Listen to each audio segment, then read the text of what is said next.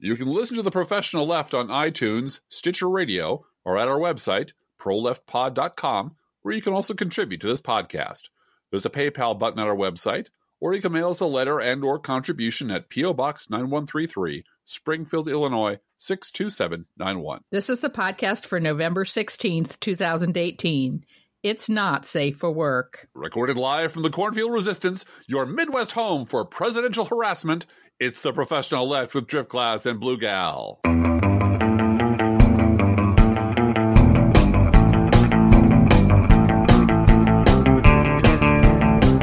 Your snow covered Midwest Yeah. home for presidential Man. harassment. Man, we had fall for a day.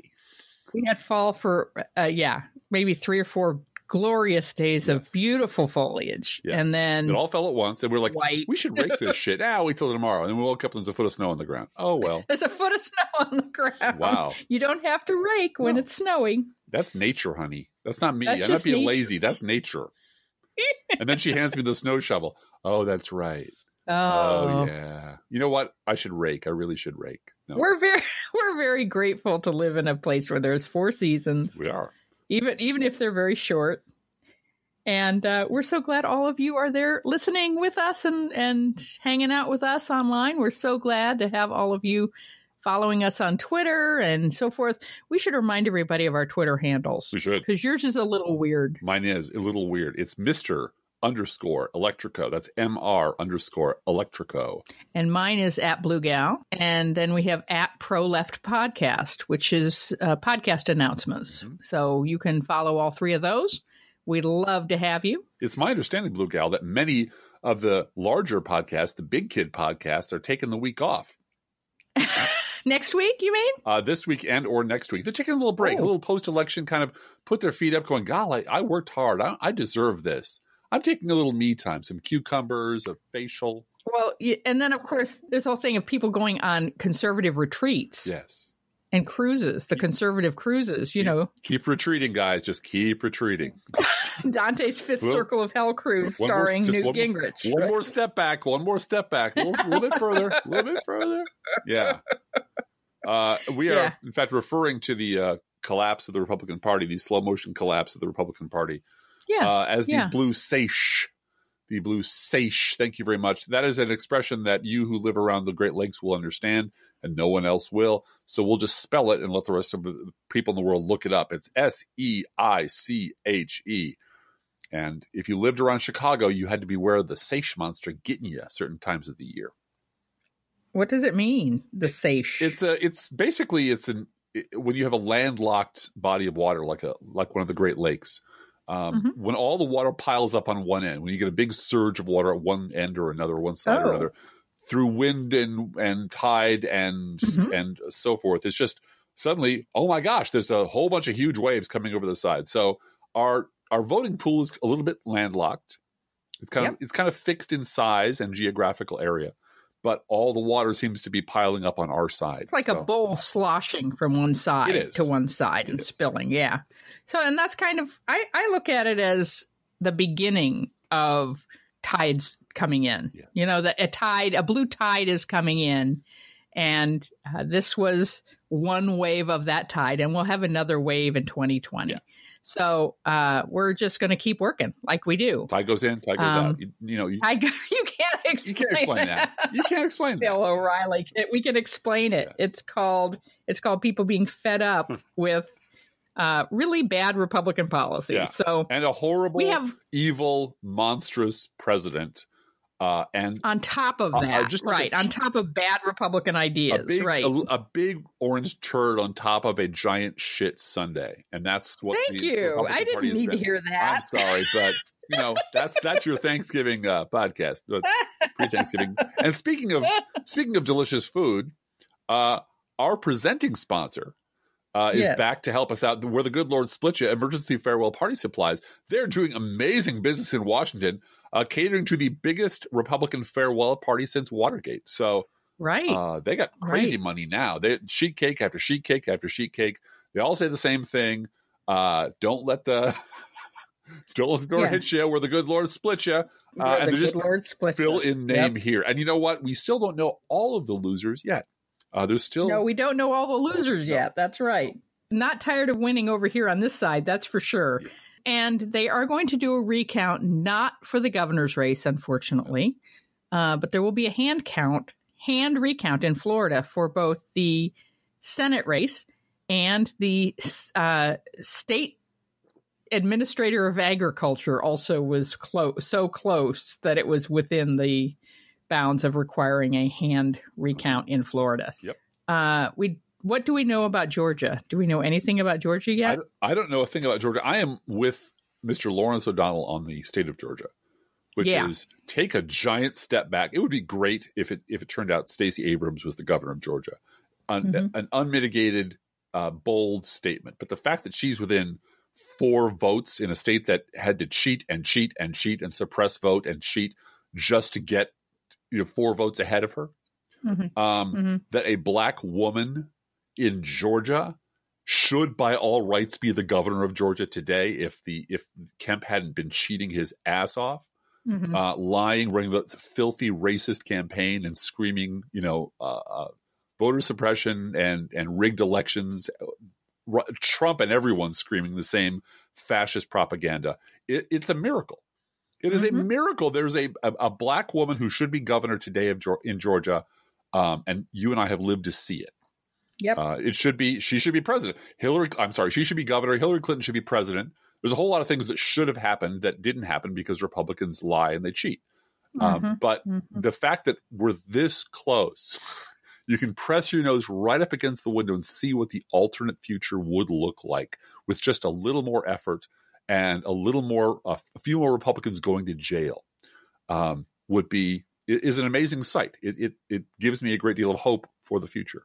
It, I have a lot of hope for the future too. I, it doesn't make losing any easier. No, no. And I'm uh, reminded, uh, looked at a couple tweets today uh, that a colleague at Crooks and Liars sent.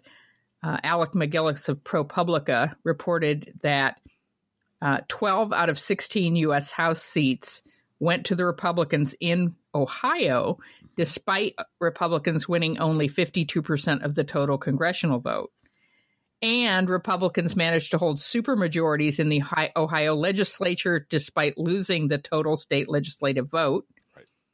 Ari Berman reported that uh, Democrats won every statewide office in Wisconsin and 54% of the votes for state assembly in Wisconsin, Mhm. but Republicans got 63% of the seats. That is entirely due to gerrymandering. Yes, it is. It's cheating. It's entirely due to They cheating. cheated. Yeah. They cheated with gerrymandering. So uh, we have work to do in that area. Uh, Ohio has already apparently passed a law that will take effect with the 2020 redistricting, saying parties don't get to redistrict, and we're going to redistrict these uh, according to keeping counties together wherever possible. And also, um, where we can't because we have to have so many people per district, we will keep cities together. Right. So that is a logical way to do uh, redistricting. Uh, it does it makes for many more competitive districts, which is better for everybody. Yes. That that means that you will actually get candidates who have to respond logically to both parties in order to win. And it, it lessens the possibility that an extremist can come in and gerrymander because it's an incredibly safe Republican seat and a Republican uh, can come in over some random issue and say, well, you're not Republican enough. If I primary you with a lot of money and win, I automatically win my race for Congress. In, in Illinois, Uh, that means we might have 50% fewer actual Nazis uh, ending up in the general election, which, How many Nazis were there, Driftglass, Uh, in the I- Illinois it, it- yeah, for running for office in Illinois, I running believe there on the three. ballot in the Republican Party in Illinois? We believe there were three Nazis. I believe there were three, which is, you know, four too many, frankly. Um, but, you know, you know, I, I, and they were all in one party. That was the funny part. They all had that same letter after their name. I am, You know, this is this is what is happening to the. They are. It's QAnon and Nazis. I am as is where this party is headed. I am as one with Joliet Jake and Elwood Blues when it comes to Illinois Nazis. Illinois Nazis. I Hate hate those. these guys. Um, yeah, Jake and Elwood and Indiana Jones, right? Indiana Jones of hate Nazis. I hate these guys. these guys. yeah. In our little neck of the woods here, we are still. Um, I, I talk to people who are very close to the uh, Betsy Dirksen Londrigan campaign. You know, they're Mhm. the staff has all been dismissed, but a few, and they're just sort of figuring out what to do with the next over the next two years, and not you know gearing up for the next fight because really, when you've thrown your body and soul into something for 16 months Really? and, and you lose, um, and it's your first time out of the box, you went from you know not doing this to being a full time congressional person. Uh, it, it requires some you know you got to go into the uh, into the decompression tank for a little bit. I was going to say You gotta- mentally you have to. yeah, Yeah. you got to come yeah. up slow and not get bubbles in your blood. You know, it's it's you know, it takes some adjusting. Um, but it it is it is a fascinating thing. Tomorrow, I'm probably going to go to a panel. We're recording this on Thursday night, by the way. Uh, a local panel on what happened during the during the election Mhm. um, with a bunch of local uh, shoe leather reporters who actually do reporting on local politics and talk with great deal of knowledge about it. some of whom I know, some of whom have interviewed us for our local paper, um, our local throwaway uh, Illinois Times paper, and it is something to it's something to meditate on that the Londrigan campaign ran the very best campaign it could Mhm. it it, it made no mistakes as far as I can tell. I, I'm repeating myself from last week, but it, it you have to learn something about the people who are your neighbors, the people who are in your congressional district. When you have someone who's a joke and who lies and who wins, and someone Right. who's a decent human being who ran an excellent campaign, national backing, local backing. I, I'm again, I'm repeating myself, but had national political figures coming here campaigning for her and still lost, but only lost by 3,700 or 3,600 votes, but still lost. And that really does tell you that there's a certain irreducible minimum right now of really awful people in this country, really Mm. shitty, hardcore Republicans who aren't going to budge no matter what. It doesn't matter how Either that Donald or Trump they is. are I'm sorry to interrupt you, but either that Sure. or they're just so mentally asleep yeah, that they just out of habit vote R after their name.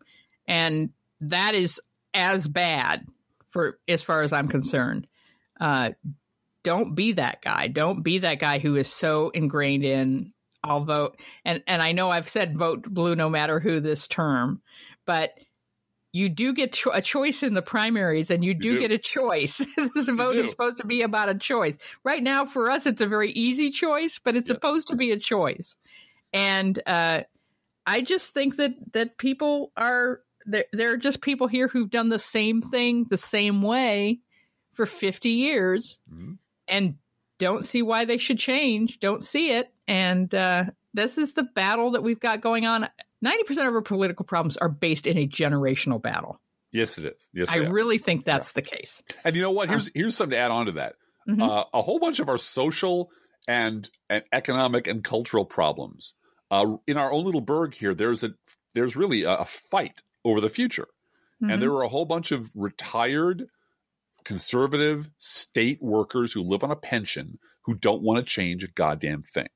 Right. And a bunch of people under them, a generation or two below them, who very much would like this city not to look like 1977 for the rest of Mhm. their lives Mhm. and Mhm. there's a real fight between them because and it, it it that fight gets reflected in politics it gets reflected in local politics um, there's a broad consensus now that the city government just has no vision at all it's just right we'll just we'll just do maintenance we'll pay our bills we'll do a few things off the edges but you know nobody take any chances nobody do anything bold nobody change much of anything because it'll piss off the old people who vote uh, Mhm. but that Mhm. ripples into everything. It, it it decides if your downtown looks vibrant and exciting and welcoming, or it's old and fly specked. And because I want to go to the same restaurant I went to in 1967, right right so and I and I Yeah. think I don't want brown people in the downtown because Right. that's dangerous. Right. I want to keep I want to keep Springfield segregated because that makes me feel safe. well, and this came up yesterday. Um, uh, I, I I've been going to a lot of meetings for a person who doesn't really have a full time job outside of you know the little This I do the podcast, and this yes. podcast and my writing. I go to an awful lot of meetings with a awful lot Community of people meetings, yes, Yeah. you do. and and that subject came up fr- uh, uh, uh, front and center last night, which Mhm. was it took a while to get there because Mhm. you kind of kind of ease because I'm looking around the room and there's just a bunch of white guys in the room Mhm. uh, with Mhm. almost no exception. But it's sort of like what why are things changing now? And we finally got to the part where we talked about look, um, when it came to this is something I do know something about. When it came to getting rid of manufacturing jobs, Mm-hmm. um, you go to all the bad neighborhoods in Chicago. Not all of them, most of them. They were once industrial hubs, and they started shedding jobs, shutting the factories down, moving them overseas. Factory owners could make a lot more money by firing people and just outsourcing all the work. Nobody gave a shit about that happening as long it was as it was happening in black neighborhoods and Mhm. brown neighborhoods, and those people suddenly didn't have any jobs, and suddenly you had all the endemic problems of poverty cropping up in those neighborhoods. Well, I'm nobody gives a shit that Flint doesn't have clean water yet. Exactly, exactly. If it was a white community, it would have been fixed by now. and now you've hit upon it. Yeah. Um, That's why. That's why the opioid epidemic were, were irresponsible junkies when it was those people. Yeah. And now it's a healthcare, a health crisis epidemic. I'm glad that we're addressing it as an epidemic, as, as it should have been all along. But the truth of the matter is, until the pain of minority communities and dispossessed communities and outsider communities is visited upon the majority community, until Mhm. they start hurting the same way the rest of the country is hurting, nothing changes. Yeah. Because they're really, you know, it's, it's, I don't like the fact that he tweets, uh, but my 401k is doing great mm-hmm. and those people will just keep right on voting and that really uh, if you if you don't mind me jumping just ahead a little bit dovetails nicely into the ta-nehisi coates interview Sure. with chris hayes Yep. because uh, first of all that barely makes up for the fact that they put Corey Lewandowski on MSNB three times in two days. He has a book and it dropped like yesterday or the day before, and you and I mo- both know goddamn well that he has some sort of contract. Uh, he, Mhm. by, by the way, he also works for the Mike Pence PAC. yes. Right. um, right. he's, you know, he, nobody ever gets fired in that universe. It doesn't matter how shitty you are, you never get really truly fired.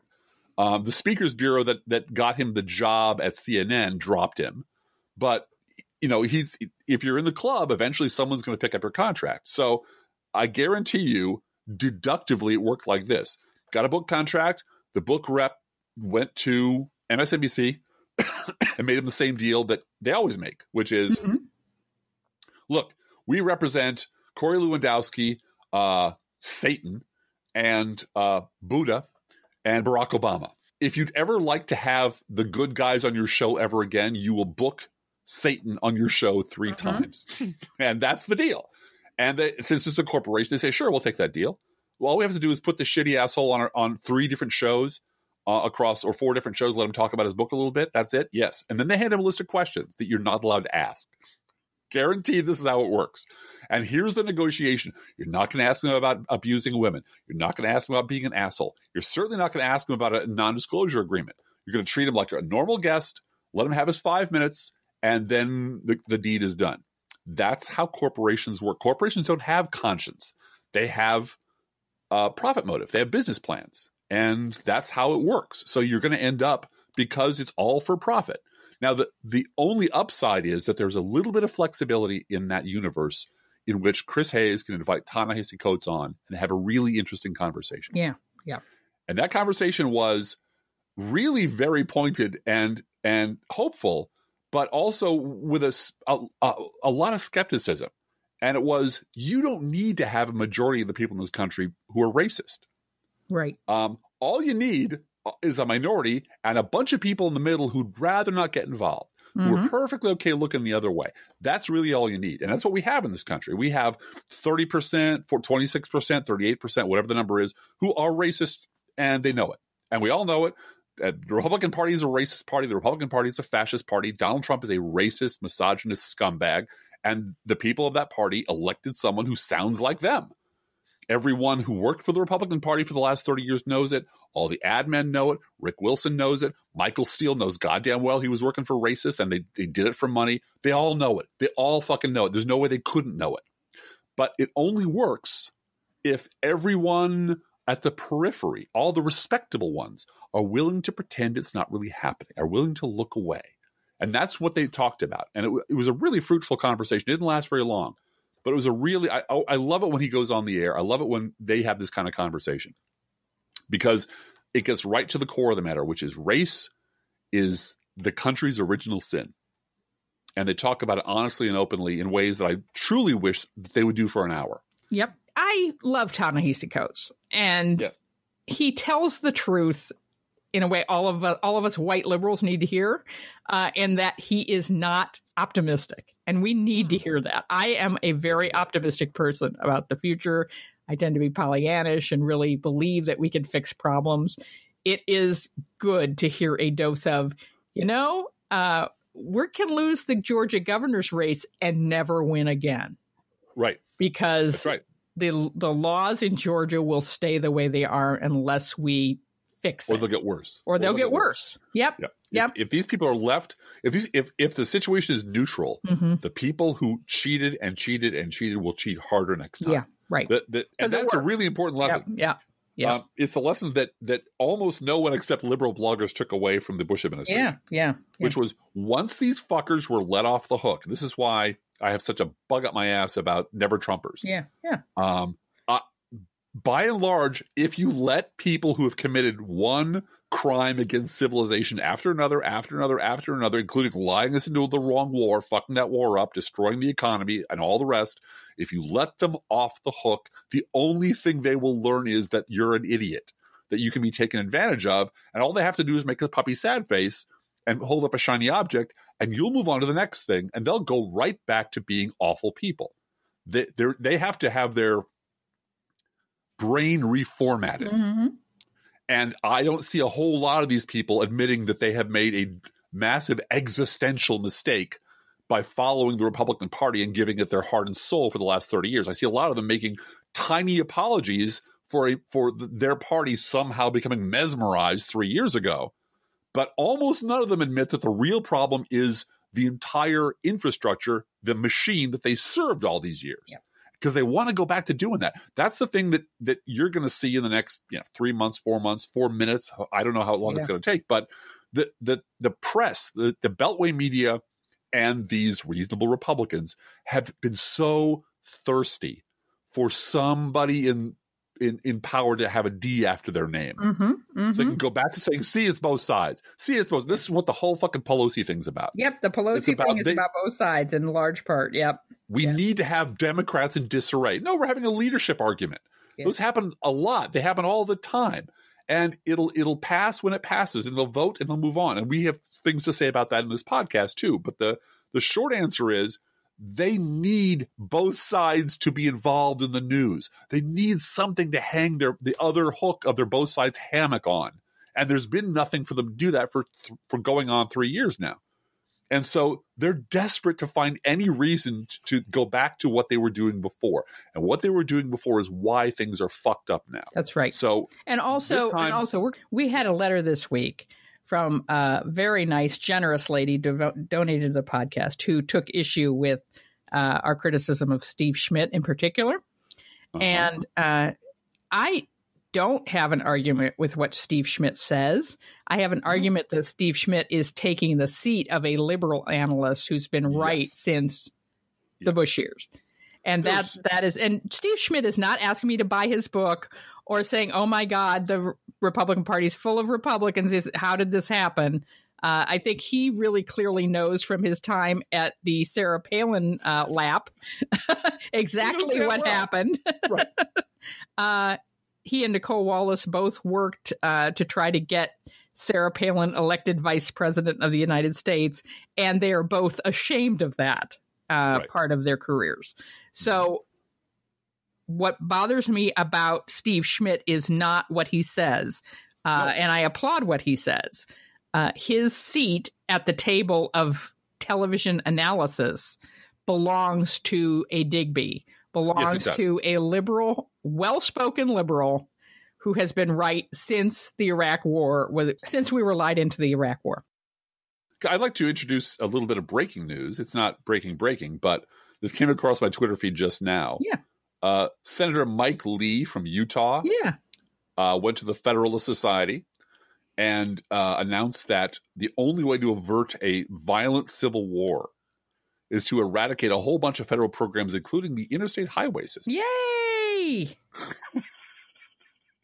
Mike Federal Lee, higher education? Mike Lee is not, uh, you know, he's not He's one of the US sane people in the Senate. No. He's a United States senator. Yes, He's he a fucking United States He's senator, and he thinks housing policy, work regulations.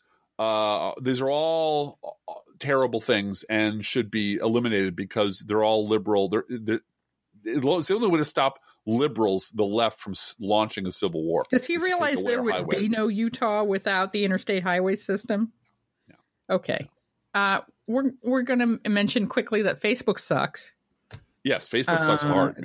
This is bad, and uh, they've been covering it up. And I agree with the person on MSNBC today who said Sheryl Sandberg is just a perfect heat shield for this, yes, because she she's you know recent widow. She wrote a book about recovering from grief. She wrote books about leaning in and being feminist and uh, being a woman business, being a businesswoman, and goes before Congress and seems humble and wants to fix things and you know, continuous process improvement. Um, Does she know her value, Blue she knows Does her, value. her value? Oh my gosh! yeah, Best, she's a friend of Mika she's. Besties with Mika, and uh, and Facebook, you know, hired Chuck Schumer's daughter, and so uh, you know, we're we're just working real hard to make sure people can connect. That's really what it's all about. And That's all we want to In do. the meantime, they're hiring Republican op research firm to plant stories about it, George Soros is funding the enemies of Facebook, and uh, and it's an anti-Semitic attack as well, you know, on on Facebook. So uh, to hide that they are cashing checks written in rubles uh-huh. for advertising that influences the election. So, well, yeah. Let's all remember, Facebook is a giant advertising. Platform. It is. That's you are the product. Yep. It, it is your and it is a giant corporation and corporations are machines that do, do, not have a conscience. They just keep doing what they're doing until someone stops them. And government and is what stops them, which is why Republicans exactly. want small government. This is right. why. They don't want anything standing the way. And whatever the corporation does, it doesn't really matter. I'm not mm-hmm. saying I'm not. I'm not it, it's an amoral machine. Well, it doesn't but, and matter. the corporation, regardless of whether it's a, one that progressives love or not, uh, we have to regulate these corporations. We have yes, to. we do. Because calculating the human cost of decisions is not something corporations do. do. They are not. They calculate yeah. what do I need to do to maximize quarterly profits. And if it's uh, make better baby food, that's great. If it's destroy human civilization, that's what we'll do. Mm-hmm. But there's no one inside the machine that has a that it is that's its conscience that right. says, wait a minute, that's too far. We can't do that because those people are weeded out. The, the, the purpose of the machine is to make sure the machine keeps running and keeps growing, and there's nothing to stop it. It's it's its growth is regulated like cell growth is regulated by the body. Mm-hmm. The body is the government, and when it runs out of control, it's a cancer, and it will kill us all. And that's and the thing that that Republicans are saying is no, no, the cancer is good. We want that. We want that. We want all these markets running completely on their own, out of control, with no regulation at all and somehow that'll make us all free. And that's a lie. It's yeah. it's a gargantuan lie, but it's a it's a lie that makes rich people really happy mm-hmm. because they have a lot invested in not having the government tell them what to do. And Facebook is now everywhere. Yeah. Facebook is everywhere. I mean, there are businesses in town, people I know who could not stay in business if it weren't for Facebook. Right. Right. Right. And it's I used to teach computer classes and I would explain to my students every time you get a free T-shirt online, uh, you're for some piece of personal information or some whatever, you're giving away more of your your privacy forever. Mm-hmm, mm-hmm. You're handing over your future, your profile, your ability to to have your brain mind to sell you shit, and that shit might be uh, jeans, and it might be a political point of view, right. to a massive soulless machine that does not give a shit about you. Yeah. So do it conscious, do it, you know, self-aware. If you yeah. if you don't care, fine. But that's the problem is that there are lots and lots of people out there who really do just want to look at pictures of their grandchildren. And yes. uh, this is where they, a friendly place where they can do that. And then they see that their friend, quote unquote, on uh-huh. Facebook, someone they've never met before in face to face, but is but their friend on Facebook and her cute puppy photos, uh-huh. uh, is pushing friendly fascism you know on the facebook and you don't know or is or contrary wise is uh-huh. pushing a story she read about hillary clinton using clinton foundation funds to fund her daughter's wedding which is a lie Yes. But that Oh, came out in November, right before the election. It was all over Facebook. And gosh, maybe we can't vote for Hillary after all. You know, if her daughter's wedding was paid for with illegal funds. Oh God, Yeah. I mean, this caravan has me concerned, Carol. I know, Carol, right. exactly.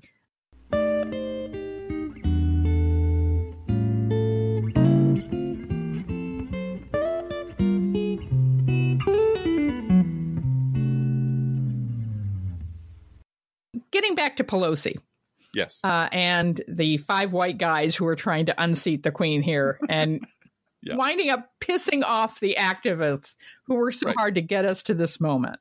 yes. Uh, I mentioned to you this morning, and I know when I did, you just loved me even more than you already do, Driftglass. As if that were possible. uh, secession planning. That yes. this is this is a hobby horse of yours. That It is. uh, there are a lot of small manufacturing businesses around the country that have gone out of business and have, as a result, laid off five workers, 10 workers, 20 workers. And our economy has had injury by a thousand cuts with all of these small manufacturing uh, entities closing down because the owner of that entity did not. And you tell me if I'm saying this wrong, but I think I'm You're saying it absolutely right. the owner of this entity made no plan for how uh, their business was going to stay in business when they retired. Yes. And they don't want their children, either they don't have children that can inherit the business or are interested in inheriting the business, or they don't want their children to be a manufacturer. They want their child to work in a bank or a law firm or have a white Right. collar. That's why they sent them to graduate schools because they want them to go have a better, calmer, white collar business rather than uh, bricks and mortar they want them to be podcasters. Let's, let's be honest. They want the kids to be podcasters. Okay. So, Yeah. uh, but there's no plan for how to keep this business running, how to Right. keep how to keep these people employed, and uh, so they retire and they shut down, and there's five people out of work, and then there's ten people out of work, and eventually Main Street no longer exists. Everybody's working for Yes. Walmart. Okay. And nobody can figure out why this happened because it happens chronically over a long period of time. and, and, And it's little, Mexico, little, and it's little by China. little, and it's but it's these little tiny, and I say tiny, I mean compared to Walmart, they're tiny, but they Well, and, fa- Yeah. family-owned businesses have this like order of magnitude failure over the generations. Mhm, right, You know, right. a, just a staggering number fail between the first two generations, and it's something like eighty to ninety percent of them fail after the second generation. And it's amazing because And- we have a sign company in Springfield that is going on third generation. Yep. And part of the reason is they kept having sons. When you keep having sons and your the whole life and also the mother was very involved in the business. The, the person was, that founded absolutely. the business, he and his wife uh, were, both worked on the business. So mom and dad were working on the business. Sons to go in into the business. Grandsons are now going into the business, and this this Mhm. company is flourishing because they have a plan, and it is a family owned business that there's no question that everyone will work. And then they, they also have a sense of family about their employees as well. And that's not that's not unusual. But uh, the succession planning is having lots of sons to, to inherit the business. That's i realize that's sexism but that's the way manufacturing goes. It goes to men. And uh, but also having mom in the business mom involved. It made i'm sure made a huge difference in keeping that business going. Small companies also find there's a way around. There's a lot of ways around that. You you buy, sell the company to the person who's been running your shop for years, which may or may not be a member of the family. You have an ESOP program, which is an mm-hmm. employee stock ownership plan, which is a way the employer employees can actually buy the company and keep it running. The idea being that you did great. You started this thing in your garage in the 50s or 60s. You did wonderful. You've done wonderful for years. You built a, Mhm. a, a, a, a- an enterprise that survived shock and, and recession and recession and exports. And you've got a prospering little business going here. Speaking of moms that are in charge of businesses, Nancy Pelosi. Nan- Nancy Pelosi needs a secession plan, She doesn't have one. They and she doesn't have do. one, or she hasn't announced one. I should say It's not obvious to us. the the elephant in the room, and I, or the giant donkey in the room of the Democratic Party in the House. Is that Nancy Pelosi will not be there forever. And that is not a criticism of Nancy Pelosi. That is a fact. No. That is just a fact. And it does not comfort those people who want a Democratic majority in the House to function beyond Nancy Pelosi to see Uh-huh. Steny Hoyer sitting next to her. That is Steny. Steny. voted most up and coming young man 1972 and 73. like no, no, no, no, no. Everybody around the table is an old gray head, Yeah. and that nothing wrong with that. But you you've skipped an entire generation. you have you you just bypassed an entire generation of leadership because you because unlike in business maybe it's exactly like business politics the danger of training your successor is they'll try to kill you um you know don't mean the, that Kling- it's the klingon yes, approach right. no i don't mean it literally but it's it's when you train your successor you're admitting your mortality and you're you you at some point have to give up power. You have to turn to the person next to you and say no this is their question. And we have formal arrangements for that. They're called elections. But when you have int- in- inter-party or intra rather intra-party changes you have to be able to manage those over the course of generations. Right. And the democratic party's done a really shitty job of doing Right. that. They haven't cultivated leadership at the, at the grassroots level. They haven't recruited new interesting candidates. They, they all came out of the woodwork this time around uh, and they all ran they all ran largely the same kind of campaign that was you know specific to their locality but they have all they all ran as proud democrats. But there's no structure in place to say okay um, here's how you move up. Now there there is theoretically one committee assignments and that sort of thing. But when the person who's going to chair your party has already chaired your party a decade Mhm. ago. Hmm and and and the people that you look around who are in leadership have all been in leadership for years and years and years. Something is wrong with the way you're doing politics. Right right. And and because they don't have a succession plan there's no idea that we have to nurture the next bench of leaders who will come along after us who will be in their 50s and 60s maybe when they arrive in these seats maybe younger maybe older and take over and keep the the project the democratic party project running keep progressive politics running and it's a fatal flaw and the the republicans had the young guns young guns right? They had they just came in and just ripped the place out of the hands. But these were all all they did was take what Republicans have been saying they believed all along and turn to the mob that's been electing them and saying we we want to get rid of the aren't crazy yeah enough. yeah All we're saying is we would like to continue the progressive liberal project for the next century. We like it to ha- include clean water and clean air and education and healthcare and climate change acknowledgement. And some of these things are going to require fairly substantial, swift, and drastic actions. And we need people in place who understand that and are willing to do the hard work necessary to the heavy lifting necessary to do that. And that doesn't happen if they see no clear path to leadership. Right, right, right. And and there are a, a number. I mean, it, it really is a generational thing. There are a number of Congress people, uh, Democrats in their 40s and 50s that may never have a chance to be in leadership, although they are experienced members of the. House who've been there for a long time. Uh, but because the 70 and 80 year olds just are are clinging to power, and again, I believe in experience and I believe in understanding Yes. how to move votes and how to make how to get things done. But you've got to at some point uh, recognize the power of mortality and prepare for it. And that's that is, as I said, that is ninety percent of our political problem is based on a generation not wanting to prepare for the inevitability of their own demise and and Right. Just clinging. And I, and I, it's understandable. It's human to want to do that. But if you are looking long term out 10 years out 20 years to keep the democratic project going you've got to prepare for it. And not see the new people that are coming in as an insurrection. Uh, I don't think I don't know how to how to put it otherwise. Communicate, communicate, communicate. I hope Nancy Pelosi is reelected. My, that is my personal I do too. Uh, but I Yeah. also hope that Nancy Pelosi starts surrounding herself with uh, people who can inherit the gavel from her, uh, rather than just Steny Hoyer. And no offense, who's Steny, you're a great guy. Uh, Barack Obama was good at this. Yeah, Brought in a lot of young people, young voices, even if they had a little snow on the roof, as we Mhm. say. Um, brought in good people. yeah, he did. and gave them their gave them their head, as they say, and and really listened to them and let them sort of do their thing.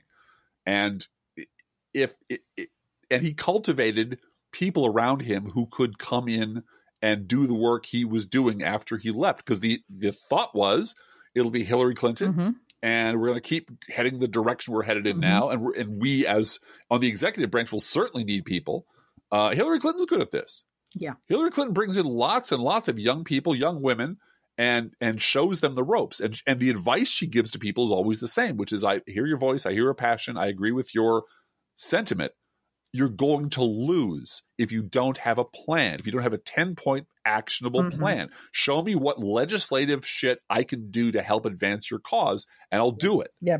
But And she- you know, and she- shouting at me is and not she going to help. talked directly to the Black Lives Matter movement about that, and and did. they did they did follow her suggestions. I don't think it was entirely due to her, but uh, No, they did come no. up with a ten point plan and and have worked to did. change laws locally regarding police brutality that is making a difference around the country. Uh, while we're talking Uh, about that, I want to give a uh, shout out and applause to Tom Perez uh, Yeah. chairman of the Democratic National Committee, who you know has a thankless job, and every time he's on TV, I roll my eyes way back into my head because he his talking points are boring. Uh, two things he's done right: where it was necessary, he recruited winning candidates who were uh, in part of the local community. Uh, he didn't have to recruit everywhere. Some places they were self recruiting, but the places where he needed to recruit, he recruited winning candidates. The other thing he did is he did not make enemies of people who were doing his work for him. So the indivisible groups, the uh, blue wave type groups, anyone who had that sort of blue thing going on, where they were registering voters or increasing enthusiasm or whatever it was that they were doing to get Democrats in office, Tom Perez kept his eye on the prize. He did not see these folks as competitors to the DCCC, which is, you know, I will not give money to the DCCC because they, they No. promote too many blue dogs. His job was to get Democrats in office. He did it. And he one of the ways he did it was to not treat progressive groups, uh, people doing his work, getting that job done. Uh, he didn't treat them as competitors, and that is to be applauded. Hey, Nancy Pelosi said, if you need to run against me, run against me. Yeah, yeah. Oh, if she, if if they promised to in their campaign to run against her, Yeah. which some did, yes. If you need to if you need to beat up on me to win, then do Yep. it. Just win. Yep. Then we'll sort all this out Yep. afterwards. But it maddens me the number of really good hearted, thoughtful, passionate liberals who don't understand the really basics of politics. Number one, you have to win. hmm Number two, you have to win all three branches of government. Mm-hmm. And you have to work with people you might not like. Right. Right. Unless you wave a magic wand to turn everyone into um, Bernie Sanders, Mhm. you know, or or whatever. Uh, unless you can do that, you're never going to have what you need. You're never going to have the perfect mix, add mix combination of of progressives and liberals running every branch of government. That's never going to happen. Mhm. So you have to learn to take what you can get, consolidate your wins, learn from your losses, and move forward. And and unless you unless you want to condemn yourself, which I, I really am convinced a whole lot of people would rather do, sit on the sidelines and bitch. Well, that sounds not intelligent. So, Yeah. and some people think it will get them laid. So, I, I have some breaking news, by what the way. breaking and it- news? and by You're the on the Twitter. it it doesn't it doesn't get you late. Uh, well, it might, but Being not negative all you the really time don't doesn't get that. you late. Oh, really? Oh, Yeah, well, there, I'm sure there's a pessimism club where you know whoever the most cynical is yes, gets right. gets a hearty hand job at the end of the night, but you don't want that. That's no kind of life for you. Um, apparently, Florida's Broward County Mhm. submitted the recount numbers two minutes late, and therefore the results will not count. Oh. So take that for what it's worth. Um, it's breaking. It might be true. It might be Ari Melber, you know, pulling my chain. But I thought this is it. This is it, one of those moments that you sort of pin in time, so future generations can know exactly when we recorded this. This is what happened while we were talking. They were already ordering the hand recount, which is going to take longer anyway. So I don't know how that works out. Anyway, okay. Shall we move on with our scheduled program? Well, I want to talk for a minute about uh, noise, Knitting? noise and knitting, and this is sort of a Bible bitch, or sort of not. Um, it just has become really clear to me again this week uh, how much noise Donald Trump is making and melting Yes. down and constantly uh, trying to stir up uh, attention for himself, and he's good at that on cable news. He's really good at that. Uh, the um, important thing to remember is the still small voice of truth. And that means that God is not in the wind, the wave, the uh, earthquake, or the fire, as as the Bible says. God is in the still small voice of truth. And then there is a quote that I I swear somebody screamed at me from the air in the living room uh, uh-huh. from Elizabeth Zimmermann, who is one of the original goddesses of knitting. Uh, she's ah. passed away now, but she uh, wrote lots of books about knitting back in the early 70s and uh, made videos and was really one of these people that everyone sort of consider everyone in the knitting world considers their godmother. Uh, and she said during the Watergate hearings, she said, knit on with confidence and hope through every crisis.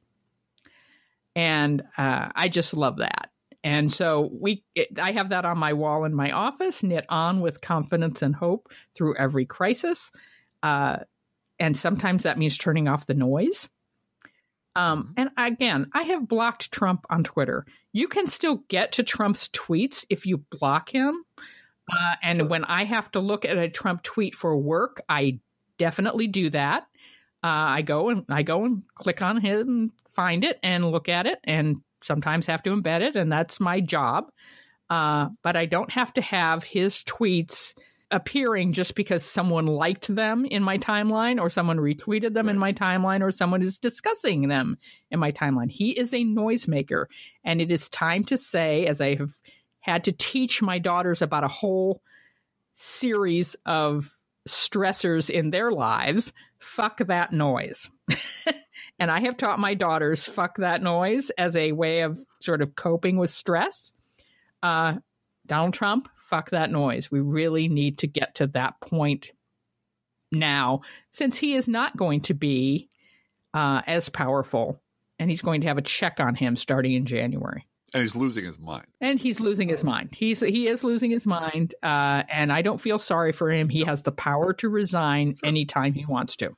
And I have one small problem with your sentiment. Okay. Which is I don't know how to knit. Yeah, you you're going to have to find something else to do. Yeah, I'll have to. I don't know. I'll think of something, Blue Gal. I'll think of something. Photoshop yeah, with confidence yeah. and hope. Yes, that's, that's, right. One pixel at a time. Uh-huh. All right, you have an awards show going on at your blog. I do. I just want to mention on my blog, I, I have uh, created me and a bunch of judges from Broward County got together uh, to create a new award called the Blocker Awards. The Blocker Awards are people who block me on Twitter um, because it's all about me. This is how you turn criticism into the story of yourself. Uh, and I wouldn't do this because, let's face it, as I've said in many different ways, Twitter is a sewer, uh, useful, but you don't want to drink from it. Um, it's it's a toilet, uh, but it's functional and it serves its purpose. And blocking someone on Twitter is nothing. It's just it's a daily weeding the garden activity. But when I started to notice that they fell into dis, uh, discernible categories, um, I thought that's kind of interesting. Mm-hmm. So mm-hmm. I created a Blocker Awards, um, and I'm not going to tell you named after Dan Blocker, right? Named after Dan Blocker, the, the the great and the good Dan Blocker, and a wonderful story that Harlan Ellison tells about Dan Blocker that tells you a lot about how screwed up in the head TV makes people. Mm-hmm. Uh, the story of, of this nice woman, uh, convert. Dan Blocker was a, an actor on a show called Bonanza that I'm betting half of you never heard of before but it was on the air for roughly 700 years and it was a cowboy very show very popular yeah. show extremely popular went on for years and years and years and uh, uh, it was three or four sons uh, and their father and uh, uh, this is sort of warning ladies don't marry uh, Green. Greene apparently no, you'll die anyone who has a child by Lorne Greene will die leaving you know four orphan sons behind by different mothers, which is they never explained that, but it was necessary for the plot, I suppose. So uh, Dan Blocker was was a big guy. He was a professional boxer, as a matter of fact, before he became an actor. And but he's a nice, big, gentle soul who who passed away many, many years ago. And a woman saw him in the supermarket and walked up to him and said, "When you get home to the Ponderosa, you tell your pa that Hop Sing shouldn't be making dinner for you. Come over to my house and I'll make good dinner. I'll make great dinner. I'll come out there and I'll make dinner for the rest of you. and he said to her, "Ma'am, my name is Dan Blocker. I'm an actor, and I go home every every night to my wife and kids in whatever suburb of yeah, you know Beverly Hills or and, whatever." Right. And she looked at him, and part of her brain knew he was an actor, but part yeah. of her brain wouldn't accept the fact that what she was watching was imaginary. Yeah, and it's that it's that mental discontinuity that screws you up if you don't understand the context of what you are watching. And what that are, explains Donald Trump. Yes. What you are watching when you are watching Corey Lewandowski on mm-hmm. the Kasie Hunt show, Cassie Hunt show, whatever the hell it is, and whatever the hell else it was, and Hardball, mm-hmm. is you are watching a puppet show. You're watching mm-hmm. a, a bunch of people dressing up and pretending to be the news.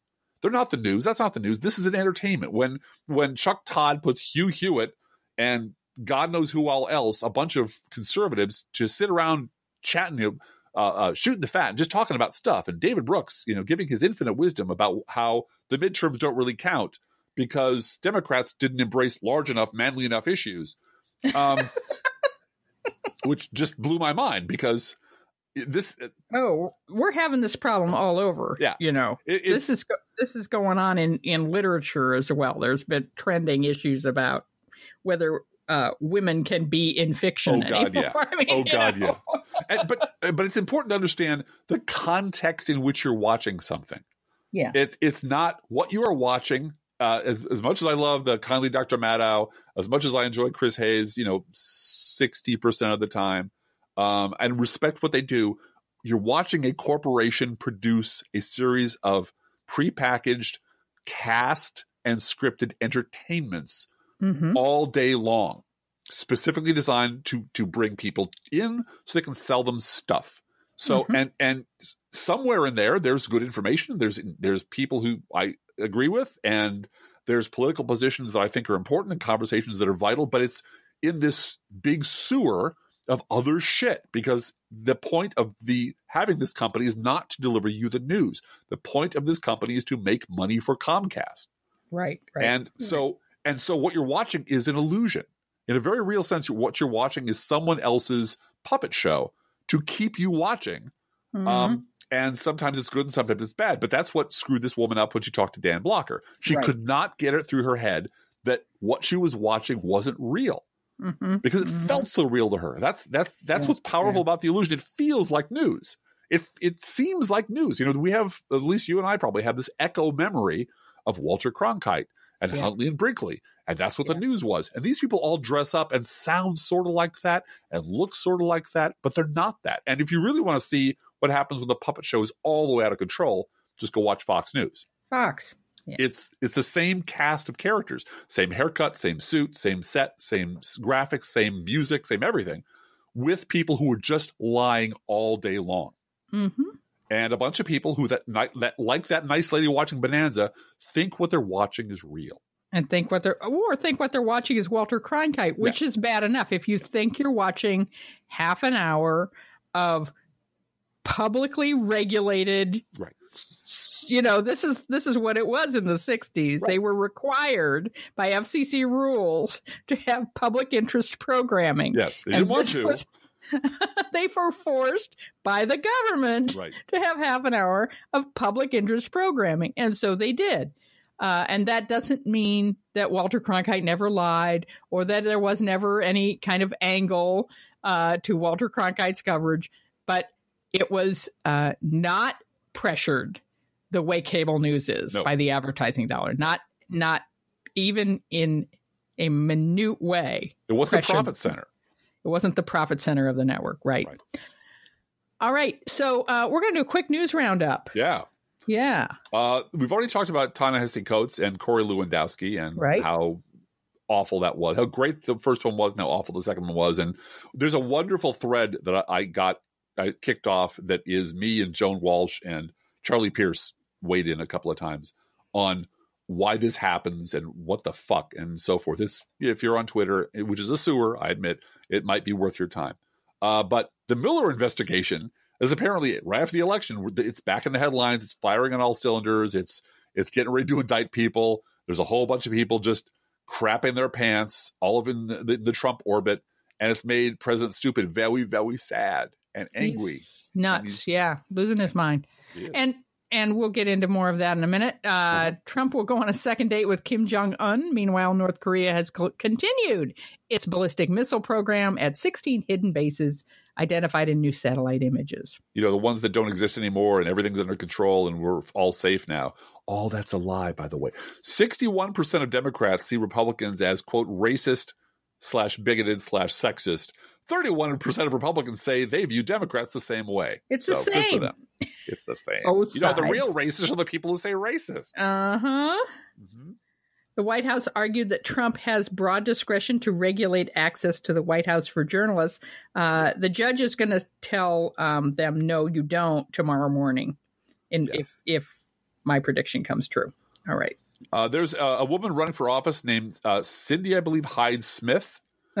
Um, that and In her Mississippi story runoff. and Yeah. yeah, yeah, and her story branches in two different directions. The first is uh, Google. You might have heard of them. They have a search engine. Uh, claims they were not aware. At that moment, you should stop reading this and just start laughing really hard. Mhm. Uh, we're not aware of the Hyde Smith's lynching comments at the time they gave her a five thousand dollar donation, and certainly would never have given money to her had they known about it. Uh, again, And as you said, Bing failed them. yeah, I guess they all use Bing. I, I, I or or Spider or Yeah. Archie and Jughead, which used to be a thing. Veronica. Um, also, she was caught um, on camera. I'm sure it was a hidden camera, talking about the virtues of voter suppression. Now, Hmm. tho- those schools over there have liberals in them, and you know, may, and and and and we're trying to basically make sure they don't vote, and we think that's a good thing.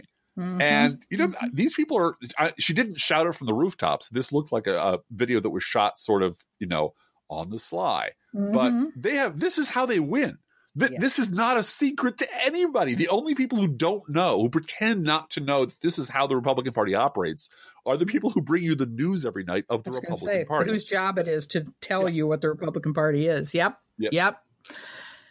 Trump called for Florida to suspend its legally required recount and declare the Republican candidates for Senate and governor the winners. Without evidence, Rick Scott accused Bill Nelson of trying to commit fraud by trying to win this election. Yeah. Uh, and uh, I did like what Jonathan Alter had to say about keeping these protesters outside of vote counts off of television. They are not germane to the process of counting votes. No, And not. we allow mobs to determine how vote counts go. We allow protesters to determine how vote counting is going to go. We become a banana republic. And uh, Katy Tur just couldn't understand what he was saying because, well, Yeah. we have a live feed and we have a person down there and he's got protesters behind him. We have to film him. I mean, we Uh-huh. just do. No, you couldn't put Ari Melber in a studio or over across the street next to a tree or Mhm. anywhere else. It has to be a protest behind you uh, because that's good television. Again, that is giving away the story that this is a puppet show and it's about making sure you keep watching because something possibly violent, possibly shouty, noisy, uh, vibrant, moving is behind the reporter. Right. Uh, don't put these people on television. What is happening should be a uh, methodical, legally binding, boring. uh, boring, Boring. tele- a not television friendly process. Bunch And you know that is in a room. Yeah. that is and that is really the problem with elections these days. Uh-huh. Is there some of these states are not prepared to count uh, to have election results on election night. Right. They're just and we could bring them up to speed. We there could. needs to be national election Yes, standards there and do. every Yeah. machine uh, regulated again the government regulating how these votes are counted determining this is how we do it there's paper ballots there's a paper trail there's provisional ballots that can be determined have been counted or not and we could do all of that Yeah. uh, that means every vote is counted if we Yes. get to that point and that would. is something that one political party does not want to see happen No. so uh, I I think that is a priority. I think uh, you know Pelosi has said that's a priority. Uh, A lot of other Democrats have said that is a priority. When Democrats get in control, that is something, as I have said before, when Democrats control all three houses of, you know, the presidency, the Senate, and the House, we have 18 months to get a whole lot of shit done. Right. Banking regulation, election regulation, Yeah. hopefully Climate gun change. gun regulation and climate change. We got 18 months and we got to just rush to do it. Speaking of the need for action, uh, Yeah. Donald Trump blamed California's wildfires on poor forest management. Despite the fact that nearly 60% of their forests are under federal management, he also threatened to cut off federal funds due to gross mismanagement. Yeah, he I- changed his mind about that. Yeah. But Yeah. he shot his fucking mouth off because he can't He help did. himself because he's a giant, hateful asshole and he won't shut the fuck up. And that's what his voters love about him. Mhm. And I, I agree with Lawrence O'Donnell. He said, I, I, I'm misquoting him now. I never thought I'd live to see the day of a president taking the side of a fire yeah, in a natural yeah. disaster. But, you know, Yep. I, in my opinion, the fire's right. The fire's right. California's wrong. That fire is the biggest, best, greatest fire. And I would like to support it 100%. It's a beautiful fire and it's doing what it does. You know, it's being natural. It's out there doing its thing. Government's trying to regulate it, tell it what to do, where to go. And you just know that that's the sort of like in that in that rotting worm-eaten brain Mhm, that is the most powerful man in the world those are the kind of thoughts that are whirling around there all day all night steeped in diet coke and bile and it's only going to get worse because there's a whole bunch of of of uh, uh, subpoenas that apparently are waiting out there Mhm. for uh, friends and family just in time for christmas hey what did i get in my stocking don junior oh that's not good no Yeah. Is it No. four subpoenas or only five? Okay. Uh, Trump blamed the stock market downturn on the prospect of presidential harassment by the Dems. yeah Yeah, okay. Uh, it. he, and now, and the same guy, this Donald Trump fellow, who you've all heard a lot about, was involved in nearly every step of the hush money payments to Stormy Daniels and Karen McDougal, and he may very well have violated campaign finance laws uh, in the process, which you know was because of everyone. course it was his money and it's $130,000. So of course he was involved every step of the way. Uh-huh. Trump claimed that he did not discuss Robert Mueller's Russia probe with Matthew Whitaker before appointing him acting attorney general. And if you believe that, we've got a couple bridges to sell you. Yeah. Uh, Trump defended Whitaker, calling him a highly respected man, but also said, I don't know Matt Whitaker. Uh, Trump has been in more than a dozen meetings with Whitaker in the Oval Office. Yeah, step one, uh, first hearing. This this one's easy. You haul Matt Whitaker up there if he hasn't quit already, Yeah. and say, "How many meetings have you been in with Donald Trump? Mm-hmm. Mhm. And what did you talk about?" And no, you can't claim executive privilege because you didn't have executive privilege at the time. So let's hear what you talked about with Donald Trump. Mhm. And uh, it's time to and, and these can be quick meetings because because these sort of hearings are let's establish the fact on the record that Donald Trump lies all the time. Let's impeach the witness officially before he ever gets to the indictment phase. So that we can just say, but you lied about this and you lied about this and you lied about this. It's on the record and here are the witnesses and here's everyone in your circle lies to protect you. So Mhm. having that going into a knife fight, which is what's going to happen once the Mueller Mhm. report's released, is a very valuable thing. Apparently, the Mueller team is not getting what they want from Paul Manafort, so Paul Manafort might have to go back to big boy jail for the rest of his life, Yeah. which would be, you know, real sad. But I guess he fears the Russian mob more than he fears federal prison. So, Yep. okay, Also, there need to be some House interns putting together clips of every single time Matt Whitaker was on Fox News. Yeah. And we run that first before he testifies one word.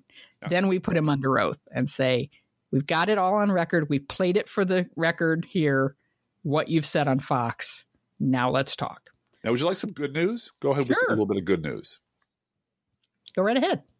a federal judge blocked construction of the Keystone XL pipeline, saying that Donald Trump administration simply discarded and ignored inconvenient facts about how the project would impact climate change. Thank you. Somewhere in the federal judiciary, there's somebody who still cares about facts, and that Right. just that makes That's good to know. Yep.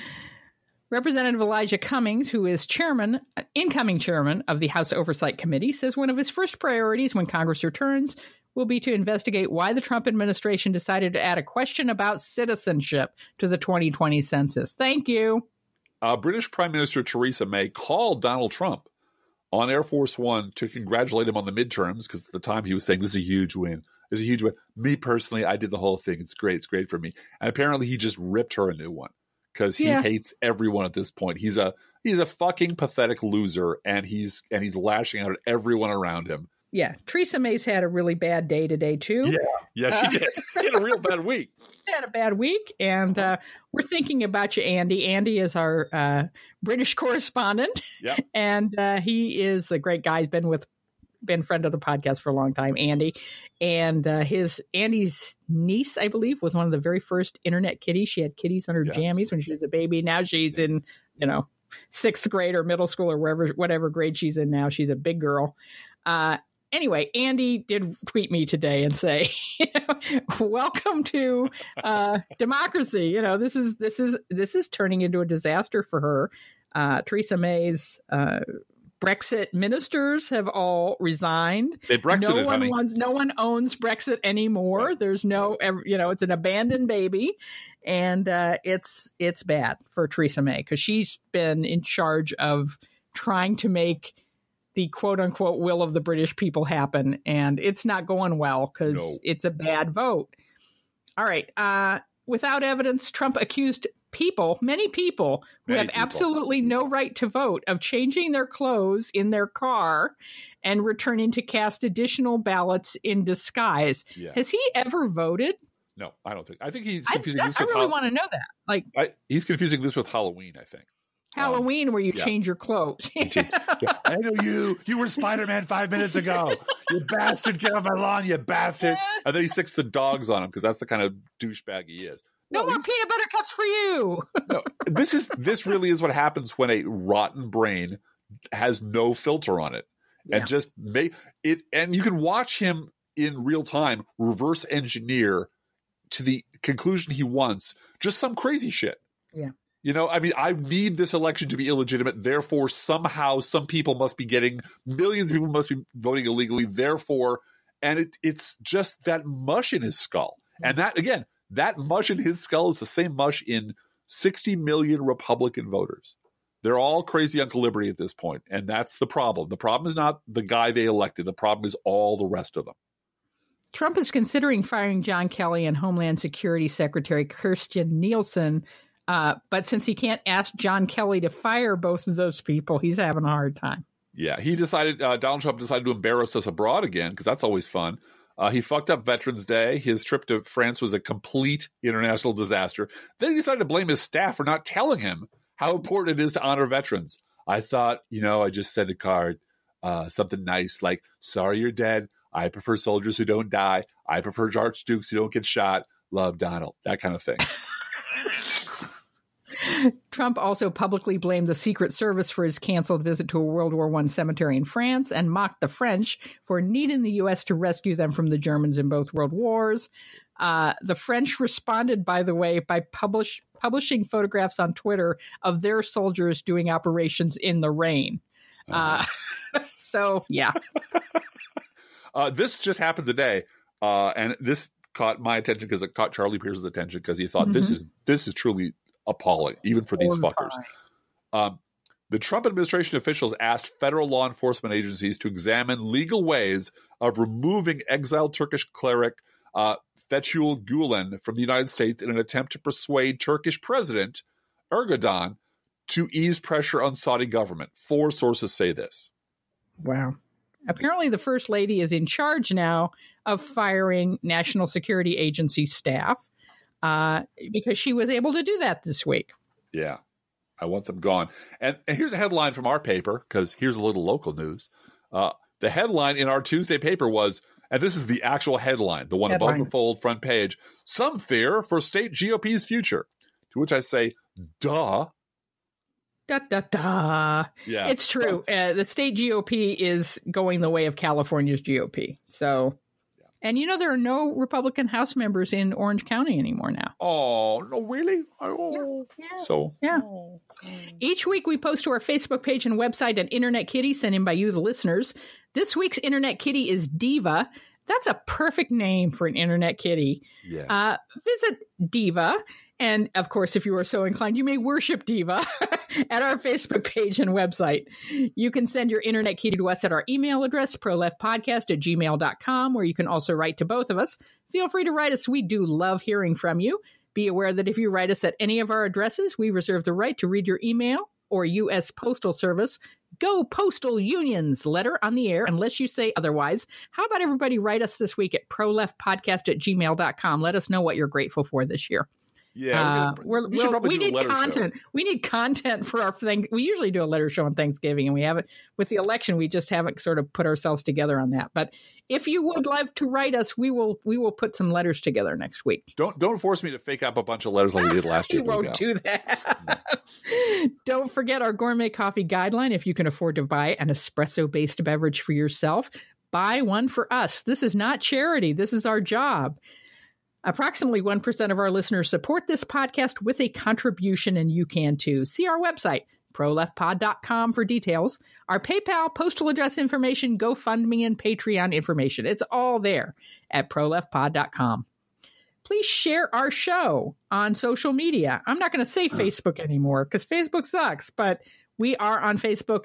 We love our Facebook fans, and uh, we'll continue to post the podcast there anyway thank you for sharing our show. We really uh, do appreciate, and it's it's a it tickles me to see it uh, when people are sharing our show on social media. Thank you for doing that. Hey, Driftglass, how are the Internet Kitties doing this week? Well, Blue Gal, the Internet Kitties just changed hats again, and they're ready to vote. Let's think about living. Let's think about loving. Let's think about the hooping and the hopping and the bopping and the loving, lovey doving. Let's forget about the wine and the crying, the shooting and the dying, and the fellow with a switchblade knife. Let's think about living. Let's think about life. The Professional Left podcast is recorded under a Creative Commons license. Copyright 2018 DGBG Productions Incorporated.